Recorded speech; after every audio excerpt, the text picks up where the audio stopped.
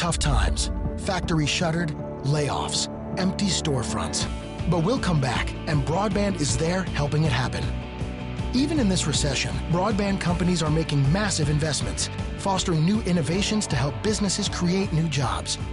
Here in New York, broadband companies have invested more than $2 billion, putting more than 304,000 New Yorkers to work.